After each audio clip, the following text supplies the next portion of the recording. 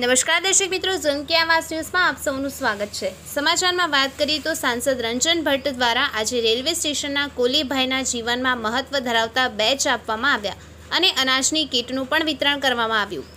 Corona મહામારીમાં દરેક ક્ષેત્રના વર્ગના દરેક કર્મચારીઓની આવક પર માઠી અસર થઈ છે. ત્યારે રેલવે વ્યવહાર ઓછો થતાં રેલવે સ્ટેશન પર કામ કરી રહેલા કોલીભાઈઓના પરિવારને સાંસદ રંજનબેન ભટ્ટ દ્વારા સહાયતા કરવામાં આવી હતી.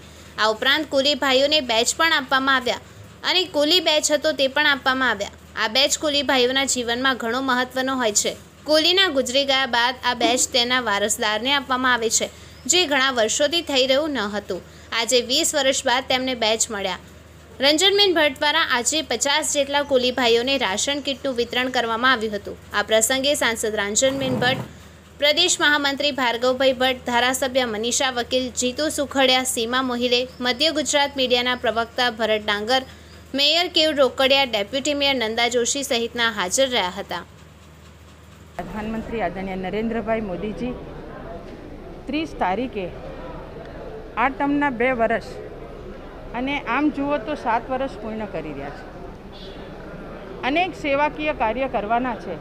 ત્યારે આજે રેલવે સ્ટેશન પર જેપલિન કંપની દ્વારા સંપર્ક મારો કરવામાં આવ્યો. સેવાકીય કાર્ય કરવું છે. અને મેં એમને કીધું માર્ગદર્શન આપ્યું કે આવો આપણે બધા જ રેલવે સ્ટેશન પર જે મારા કુલી ભાઈઓ છે, એમને મહિનો ચાલે એટલું રાશન આપીએ. તેમણે સહર સ્વીકાર કર્યો અને આજે આપણા રેલવે સ્ટેશન પર લગભગ એકસો ને એક્યાસી જેટલા કુલી ભાઈઓને આજે રાશનની કીટ વિતરણ કરી છે. સાથે સાથે હું સાંસદ બન્યા પછી એમણે મારો સંપર્ક કર્યો હતો.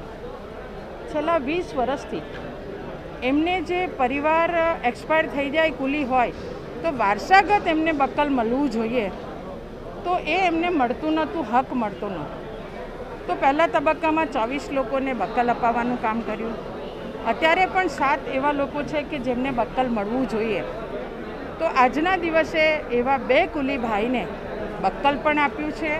એમના જીવનમાં આ બક્કલ એટલે લાઇસન્સ ખૂબ મહત્ત્વનું હોય છે અને એ આપવાનું આજે એક કામ કર્યું છે. ખરેખર હું જેપલિન કંપનીના ગૌરાંગભાઈ અને પ્રવીણભાઈનો ખૂબ ખૂબ આભાર માનું છું કે તેમના દ્વારા જે આ સેવાકીય કામ થયું છે. હું ખૂબ અભિનંદન અને આભાર માનું છું. ધન્યવાદ.